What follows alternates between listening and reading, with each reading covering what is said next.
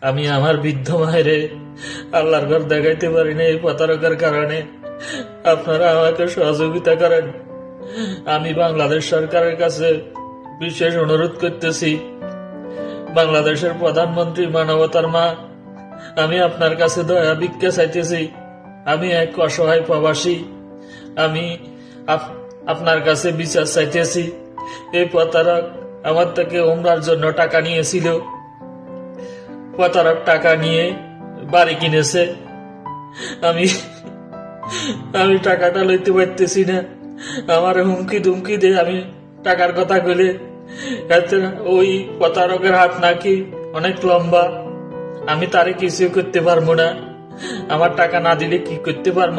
সে বলতে আছে, আমি বলতেছি যে আবার টাকা দিয়ে দেন।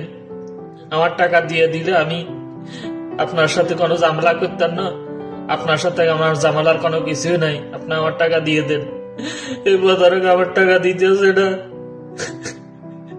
আমি আমার বৃদ্ধ বাইরে লাগার দেখাতে পারি না এই প্রতারকের কারণে। আপনারা সবাই আমার এই ভিডিওটা শেয়ার কমেন্ট করেন। বেশি বেশি মানুষের দেখার সুযোগ করে দেন।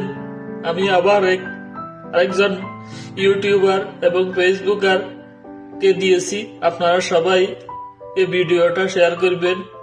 একে অপরকে পাস করে দিবেন।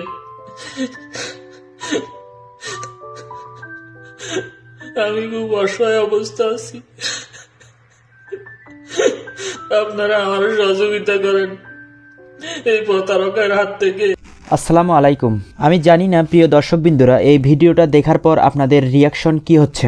একজন প্রবাসী ভাইয়ের আর্তনাদ দেখে আমার অনেকটাই খারাপ লেগেছে। ওনার ইচ্ছা ছিল উনি প্রবাসে গিয়ে ওনার মা বাবাকে পবিত্র হজ করার জন্য টাকা পাঠাবেন এবং সেই টাকা দিয়ে তার মা বাবা হজে যাবেন। কিন্তু আমাদের বাংলাদেশের লোকজন এতটাই নিকৃষ্ট, তারা হজের টাকাকেও ছাড় দিল না। এই ভাইয়ের কষ্টে অর্জিত টাকাগুলো তার মা বাবাকে হজে নিয়ে যাওয়ার জন্য এই লোককে দিয়েছিলেন।